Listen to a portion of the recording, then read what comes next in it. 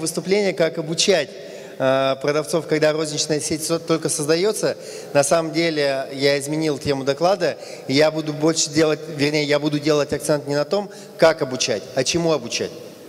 Мне кажется, сейчас это гораздо важнее, потому что Давайте не буду забегать вперед. Сначала два слова буквально обо мне. Я Альберт Тютин, э, Зафлаб, ну то есть э, заведующий лабораторией продаж, бизнес-тренер. Возможно, кто-то из вас читал мою книгу про активные продажи, которая э, считается лучшей по стандартизации технологий розничных продаж в России. Я рискнул выложить сюда ссылки на Э, свои аккаунты в соцсетях. Ну, как минимум, у вас будет возможность поставить дизлайк, если вам что-то не понравится. То есть я вот э, рискую своей репутацией сейчас. Э, кстати, бизнес-страница в Фейсбуке, считаю, насколько я знаю, сейчас самая популярная бизнес-страница по продажам в русскоязычной части Фейсбука. Итак, чему обучать? Это очень важный вопрос, потому что раз за разом мы совершаем ошибку, и эта ошибка заключается в том, что мы пытаемся в своих продавцов впихнуть как можно больше знаний. Знаний про продукт, знания про технологию продаж – я даже не буду задавать вам вопрос, потому что ну, формат зала не предполагает такого взаимодействия, но э, просто вспомните свои чек-листы, по которым вы контролируете своих продавцов, и вспомните количество пунктов там. Ну, явно больше 30, может быть, даже больше 50. Ну, э, когда человек работает с таким количеством пунктов, ну, очень сложно быть идеальным. То есть, как бы ты хорошо ни работал, у тебя никогда не будет стопроцентной оценки. И поверьте, это колоссальный стресс для человека, знать, что он никогда свою работу не может сделать хорошо. Итак, что происходит, когда мы пытаемся запихнуть огромный объем знаний, ну и на, когда мы начинаем только выстраивать свою розничную сеть, когда мы пытаемся запихнуть огромный объем знаний в головы наших несчастных продавцов. Ну, э, если продавец не, э, если я, э, ну, часто ситуация, когда продавцы просто не возвращаются с обеда.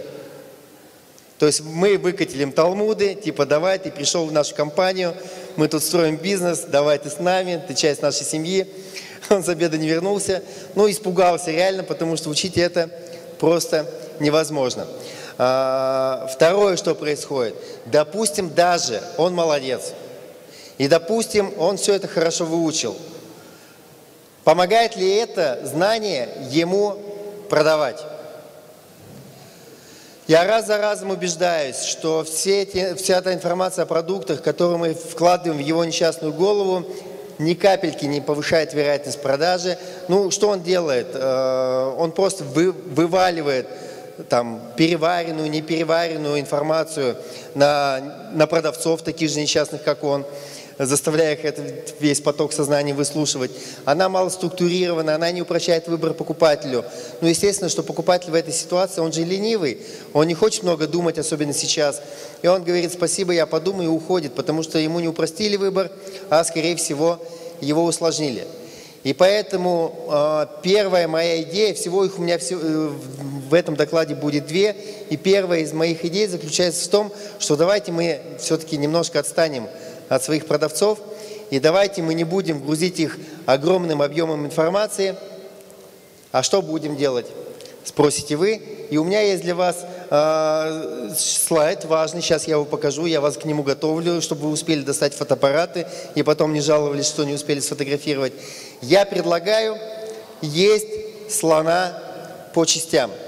А, сегодня уже заговорили о стартапах, о методологии э, реализации стартапов. И один из базовых принципов стартапа заключается в том, чтобы создать минимально жизнеспособный продукт. А что, если мы тоже при открытии магазина не будем пытаться сразу всех продавцов делать, а попытаемся создать минимально жизнеспособного продавца, который будет выполнять весь функционал, который реально будет влиять на продажи. И в этом плане мне очень близок подход моего друга, коллеги Артура Соликаева, который является ведущим специалистом на, по обучению на рынке ювелирного ритейла, который предлагает разделить подходы к обучению продавцов, выделить три ключевые категории. Стажер, да, вот этот слайд надо фотографировать обязательно. К содержанию слайда я рекомендую не привязываться, потому что у каждого из них свое. Принципиально здесь идея заключается в том, что мы делим э, своих продавцов на три категории. Стажер, консультант и эксперт. И к обучению этих сотрудников мы предъявляем разные требования, вернее, мы предъявляем, то есть мы обучаем их разным вещам. То есть если стажер для нас это как раз минимально жизнеспособная модель, который должен знать ну, базовые вещи, которые необходимы ему в продаже. Вот на этом я бы немножко поподробнее остановился, потому что мне кажется, это важно. Мы сейчас живем в эпоху э, перепроизводства, когда предложение кратно превышает спрос. Иначе говоря, товары настолько похожие, что ну, даже нам, профессионалам, бывает сложно сказать, ну, не, не, не придумывая там чего-то, чем один товар отличается от остального. И поэтому на самом деле смысла-то э, учить всю информацию его уже немного, э, но важно понимать, чем модели, чем коллекции, серии отличаются одна от, одна от другой, потому что Э, как говорится, продают отличия. И вот если продавец умеет сказать, чем вот эта коллекция отличается от этой коллекции, этого, поверьте, уже будет вполне достаточно для того, чтобы повысить вероятность покупки. А, еще следующая, модель, э, следующая подмысль э, в этом блоке заключается в том, что а давайте-ка мы не будем учить своих продавцов всему, что знаем сами и что у нас написано в наших талмудах. А давайте попросим его выучить всего лишь 10 товаров. 10 товаров реально выучить обычному продавцу? Ну, вполне. Зная хорошо, досконально эти 10 товаров, он сможет рассказать про все остальные что-то внятное. С высокой степенью вероятности, учитывая, что товары мало чем отличаются друг от друга – с высокой степенью вероятности он может э, рассказать про эти товары, ну, если мы не берем очень разноплановый ассортимент, где слишком разные категории товаров мы продаем. Э, ну, давайте при открытии магазина не делать эту ошибку, все-таки ассортимент на, продавца ставить на ассортимент более-менее ограниченный. Итак, зная 10 товаров, он предполагаем, что сможет рассказать про все остальные, и у него должна быть возможность найти нужную информацию про сложные, технически сложные товары. Вот э, Елена говорила про то, что в течение двух с половиной минут найти такую информацию. Да, он должен знать, где эту информацию быстро найти. Но достаточно для того, чтобы эффективно продавать, знать эти 10 товаров.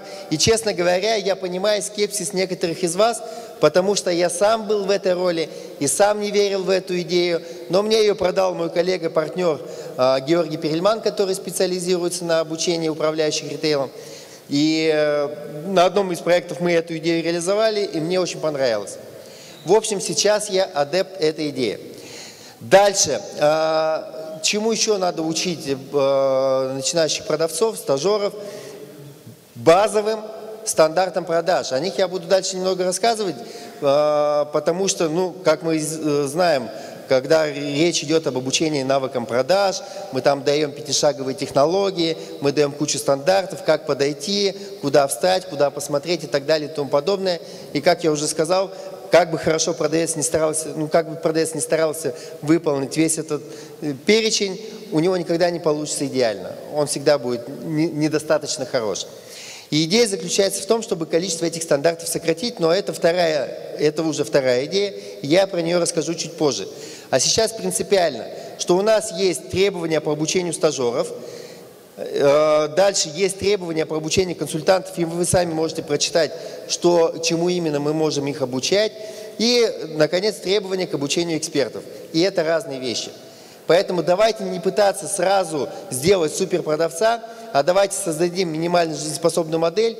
И если человек, продавец будет э, продолжать работать в нашей компании, в нашей сети, то будем его обучать дальше постепенно, доводя сначала до уровня консультанта, а потом до уровня эксперта. Ну, с моей точки зрения, вполне здравая мысль. Если она вам не заходит, вы знаете, что сделать в конце выступления или уже прямо сейчас. Ссылки на свои аккаунты в соцсетях я вам уже спалил. А, дальше, следующая идея, а, которая пришла мне в голову, когда я год назад, Год назад я занимаюсь на самом деле разработкой стандартов технологий продаж. Я вообще технолог продаж в первую очередь. Не столько тренер, сколько технолог. То есть я разрабатываю высококонверсионные технологии продаж. И э, поскольку рынок меняется, поскольку поведение потребителей очень сильно меняется, постоянно приходится пересматривать все свои концепты, все свои инструменты, технологии, что-то отбраковывать, что-то добавлять, что-то полностью кардинально менять. И один из таких глубоких инсайтов произошел со мной, видимо, бессонная ночь сказалась, в небе над Камчаткой. Вы так раз видите какой-то там пролив, пролетая, э, подлетая к Камчатке. И э, результатом этого инсайта появилась статья, где я описал три основные требования к современным стандартам продаж. Вот они. Это тоже важный слайд, его тоже можно сфотографировать. Ну, сами разберетесь, чай не маленькие. Первое. Стандарты продаж должны повышать конверсию. Ну, то есть повышать вероятность покупки. Логичное же требование. Знаете, как я э, подлавливаю внутренних тренеров, руководителей учебных центров в розничных компаниях? Я задаю им один простой вопрос. Как вы проверяли, что ваши стандарты продаж работают. То есть повышают конверсию, повышают средний чек. Еще ни разу я не услышал внятного ответа. Вы только вдумайтесь, огромные бюджеты тратятся на работу внутренних тренеров, там, подготовку электронных курсов, на работу тайных покупателей и так далее и тому подобное – для того, чтобы продавцы выполняли работу, ценность, практическая ценность которой весьма и весьма сомнительна. Честно говоря, меня эта история немного напрягает. Итак, с моей точки зрения, стандарты должны повышать вероятность покупки, а это значит, как, а как проверить, повышает он вероятность покупки или не повышает? Ну, если даже не смотреть на цифры, хотя в первую очередь, конечно, надо смотреть на цифры. Проверить на самом деле очень просто если я четко понимаю, каким образом я, то есть каким образом я повышаю вероятность перехода покупателя с этапа на этап. Ну, мы все знаем технологию 5 шагов продаж, там установление контакта, выявление потребностей и прочее, которая была описана сто лет назад, как вы понимаете, для, и работала совсем на других рынках. Современные потребители такую технологию воспринимают как агрессивное впаривание – а, я все-таки предпочитаю исходить из того, а, из цикла покупки, то есть как клиент выбирает и как он, покуп, а, как он делает выбор. Ну, например, если мы возьмем межкомнатные двери, то самым конверсионным действием в продаже межкомнатных дверей, как вы думаете, что будет? Что-что? Открытие-закрытие. Открытие-закрытие. Самое конверсионное действие – это продажа замера. Потому что если клиент купил замер – то с высокой степенью вероятности он сделает заказ. То же самое, возьмем магазин одежды, магазин обуви. Самое конверсионное действие – это примерка. А теперь посмотрите на свои стандарты продаж и э, оцените, сколько внимания уделено продаже самого конверсионного действия. По опыту тех стандартов, которые я читаю, я читаю их много, ноль. Ноль внимания уделено продаже самых конверсионных действий. Ну, с моей точки зрения, это немножко вот попахивает каким-то мошенничеством. Ну, я не знаю, как к этому относиться. Я просто констатирую факт. Итак, современные стандарты не повышают, ну, вернее, стандарты часто не повышают конверсионность, а они должны это делать. То есть, фактически для меня вся технология продаж – это некий набор высококонверсионных действий, которые, то есть каждый из которых повышает вероятность покупки. Соответственно, если продавец выполнит эти высококонверсионные действия или продаст эти высоко, высококонверсионные действия, то технология продаж будет вполне конверсионной. Как вы думаете, много ли таких высококонверсионных действий? Уверяю вас, максимум 5. Это и то я сейчас назвал просто какой-то бомбический максимум. 3-4 конверсионных действия, которые нужно сделать продавцу. Дальше. Современный покупатель, он мало того, что избалованный, он еще очень компетентный. И просто там, э, используя техники влияния, э, побудить его выполнить высококонверсионные действия, сегодня уже, боюсь, невозможно. Они выработали всю необходимую защиту против наших действий. Поэтому единственный способ сделать так, чтобы стандарты были конверсионные, каждое из этих действий должно создавать для клиента ценность. То есть почему ему выгодно сделать это действие. Например, продавая тот же самый замер, я буду говорить, а у вас какого цвета пол э, в помещении? Я почему спрашиваю? Потому что цвет дверей рекомендуют подбирать с учетом цвета пола. Ну, клиент там что-то говорит, я ему говорю, давайте я попрошу нашего замерщика, чтобы когда он был у вас, приехал к вам на адрес, он взял с собой шпоники, и вы там смогли посмотреть, как будет, ну, подобрать цвет, как это будет выглядеть при вашем освещении. Так удобно будет. Вот это конверсионный скрипт, задача которого продажа замера. Причем, заметьте, я его не продаю э, ну, в лоб. Это проявление заботы, то есть замаскированное. Но обязательно создание ценности. Я слежу за тем, чтобы замерщики, которые ненавидят таскать с собой шпоники, обязательно это делали, потому что иначе какой смысл им приезжать на адрес? Они не создают ценность для клиента. Итак, любое конверсионное действие должно создавать ценность для клиента. И третье требование к стандартам, ох уж и бессонная эта ночь была над Камчаткой, упрощать. Упрощать работу продавцов, потому что продавцы тоже люди, которые стремятся свои, ну, как любое живое существо, стремится к сохранению энергии. Они стремятся найти баланс между затратами и получаемой выгодой.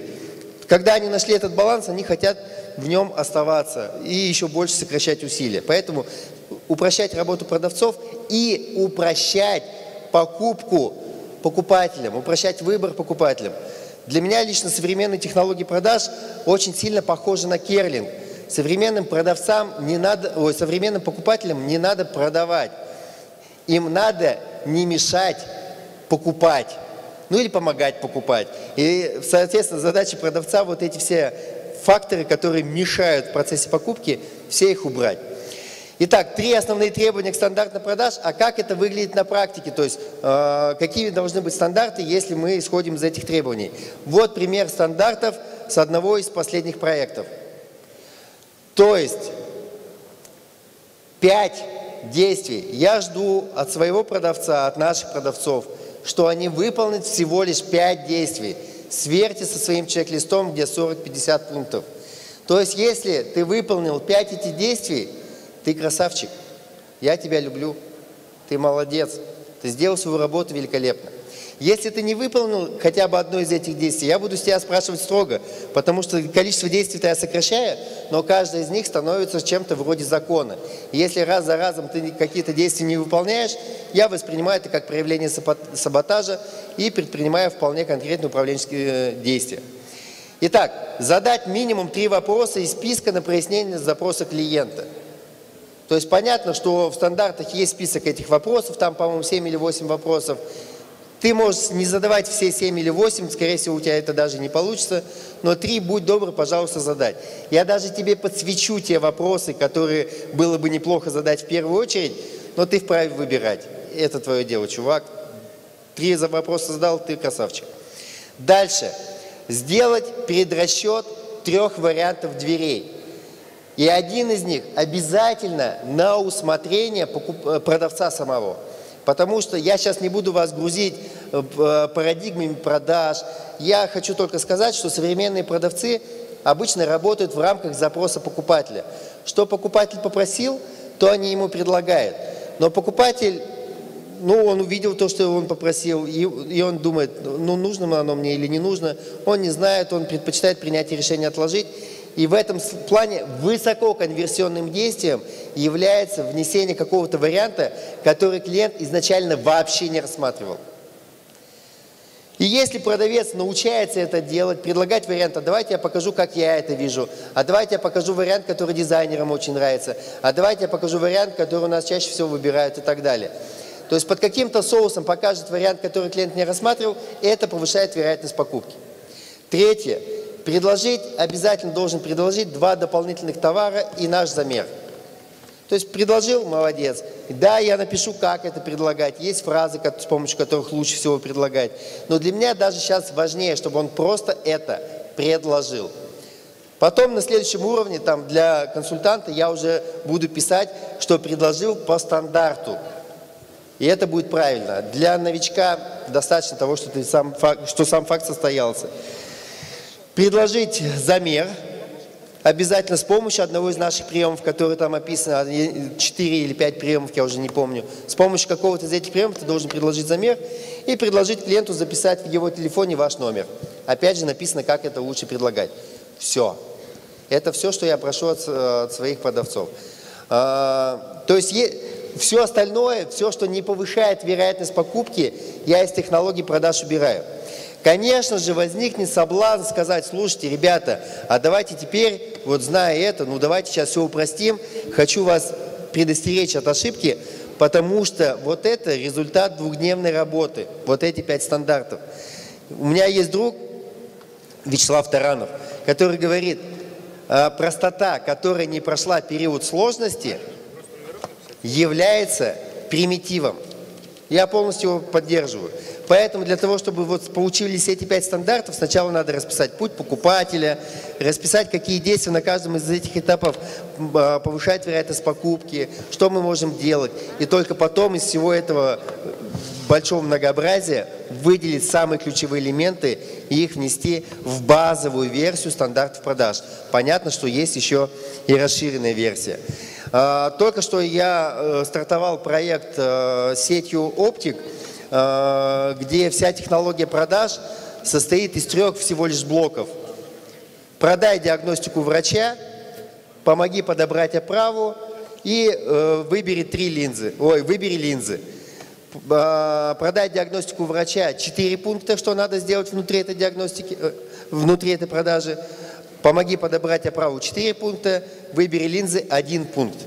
То есть итого 9 действий, но в рамках трех ключевых, 9 шагов в рамках трех ключевых действий. И каждое из этих действий, мало того, что они прошли базовый тренинг по этим вещам, каждый из этих действий с ними будет отрабатывать наставник в течение одной недели. То есть одну неделю посвящает целиком только отработке продажи диагностики врача. Вторую неделю подбор оправы и так далее. То есть мало того, что я упростил технологию, я еще упростил процесс обучения, то есть, чтобы они обучались без значительного стресса, чтобы они не, не переживали, что они сделают что-то не так, что у них что-то не получится и так далее. Так, э, думаю, что я уже могу, да, что-то сказать, э, э, какие-то плюшки получить со своего выступления. Э, мне очень заходит тема с пилотными проектами, с экспериментальными проектами. И мы весь этот год вот с Георгием Перельманом эту тему качали. То есть мы э, качаем формат такой мастерской, и мы сразу говорим, мастерская – это ваша экспериментальная лаборатория, где вы можете разработать и протестировать стандарты продаж, либо стандарт увеличения среднего чека. Ну, конкретно вот в этом случае я говорю про средний чек. В общем, я хочу вас пригласить 23-24 января на нашу мастерскую повышаем средний чек. Два слова буквально в формате. То есть приглашается в первую очередь управленческие команды из розничных сетей, с которыми мы за два дня, а, разработаем полностью все скрипты, крутые скрипты по продаже сопутствующих товаров, и б, мы подготовим полностью со всеми документами и э, пилотный проект по э, э, пилотный проект. То есть вы получите весь алгоритм реализации пилотного проекта, и мы, мы вас в течение двух месяцев после этой мастерской на этом пилотном проекте будем сопровождать до получения результата. В общем, если вдруг такая тема поэкспериментировать с увеличением среднего чека находит хоть какой-то отклик э, в ваших сердцах э, к концу сегодняшнего дня, то вот э, ссылка на э, группу в WhatsApp, если вы там что-то напишите, ну, вернее, не что-то, а цифру 20, то Георгий Перельман обещал вам дать супер скидку 20%. Единственное, что в пятницу 13 этот промокод сгорает. А, ну, и в, этой, в этом чате, кстати, еще будут выкладываться всевозможные материалы по увеличению среднего чека, инструкции, чек-листы и так далее. Так что даже если вы не хотите в мастерскую, можете просто получить ценный контент. Спасибо за ваше внимание.